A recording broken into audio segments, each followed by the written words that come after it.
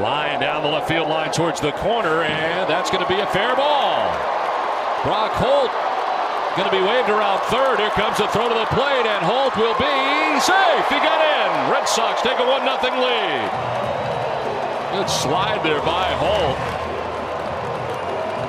Red Sox lead it 1 to nothing.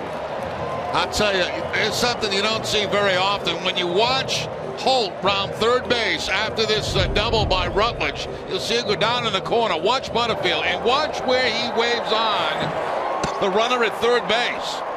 He's actually on the field of play. Look at him. Because you can't see down in that corner. Holt with the pop-up slide at home in safely. Look at Butterfield. He's on the infield grass.